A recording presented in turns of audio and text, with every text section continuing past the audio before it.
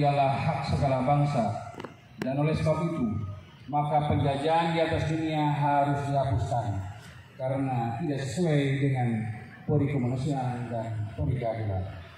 Dan perjuangan pergerakan kemerdekaan Indonesia telah sampailah kepada saat yang berbahagia dengan selamat sentosa mengantarkan rakyat Indonesia ke depan pintu gerbang kemerdekaan negara Indonesia yang merdeka, bersatu, berdaulat, adil dan makmur.